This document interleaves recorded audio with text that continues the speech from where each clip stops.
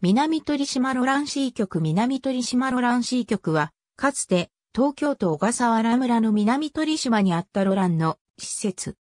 高さ411.48メートルの初代アンテナマストは返還前の1963年にアメリカ合衆国の沿岸警備隊によって建設された。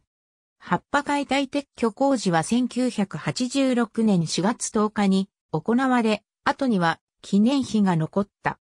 高さ213.4メートルとなった2代目アンテナマストは1985年に建設され、1993年に海上保安庁の管理となるが、腐食が激しくなったために2000年9月20日に、葉っぱ解体工事を実施して3代目に建て替えられた。しかし、GPS の普及に伴い、2009年5月に廃止が決定し、同年12月1日9時をもって廃止された。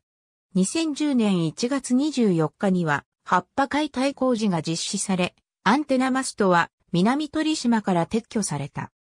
完成時の1963年には東京タワーを抜く高さを誇ったが、この時点では日本の実行支配が及んでいない土地であったため、名実ともに日本一高い構造物であったのは、1968年6月26日に南鳥島が日本に返還された時より1975年に津島にオメガタワーが完成するまでの期間であった。ありがとうございます。